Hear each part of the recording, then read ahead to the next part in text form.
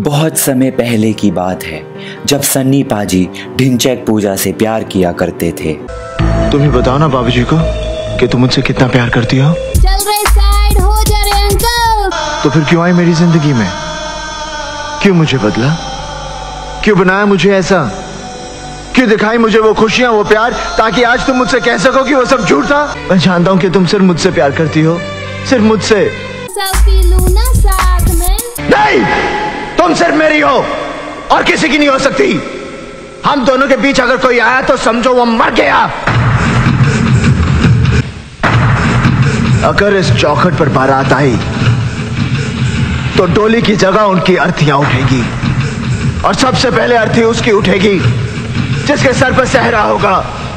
लाशें बिछा दूँगा, लाशें। ढिंचक पूजा के इस धोखे के बाद, सनी पाजी को शराब की ऐसी लत लगी कि वह जब भी उसका गाना बजता सुनते, वह अपना आपा खो बैठते।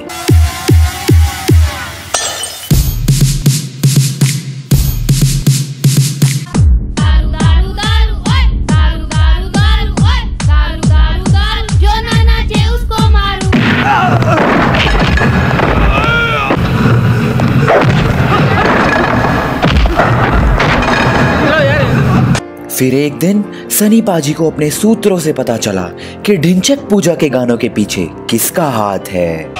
इस आदमी का हाथ है।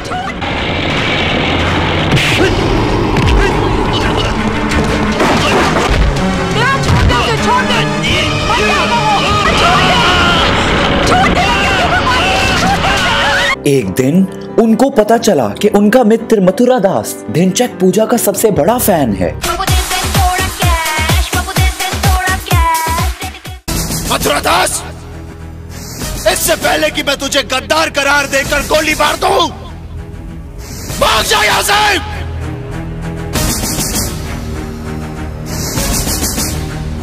इसके बाद सन्नी पाजी ने तय कर लिया कि वह ढिंचक पूजा के खिलाफ आवाज़ उठाएँगे।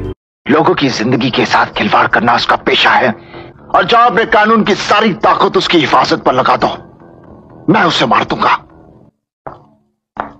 आज ही मारूँगा उसे। आज ही। फिर बिना हेलमेट के स्कूटर चलाते हुए पकड़े जाने पर जब ढिंचक पूजा पर केस हुआ उसकी तारीख ही नहीं आई। तारीख पर तारीख तारीख पर तारीख तारीख पर तारीख तारीख पर तारीख मिलती रही है। लेकिन इंसाफ नहीं मिला मिलोड इंसाफ नहीं मिला। मिली है तो सिर्फ़ ये तारीख। और अंत में जनता ने अपना फैसला सुनाया। तू गुनेगार है या बेगुनाह? इसका फैसला होना तो अभी बाकी है। अपराधी।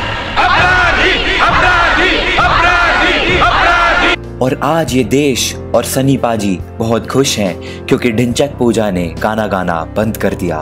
बधाई हो। बधाई हो बधाई हो। तो अगर आप लोगों को ये कहानी पसंद आई तो लाइक कीजिए नए हैं तो सब्सक्राइब कीजिए एंड थैंक्स फॉर वॉचिंग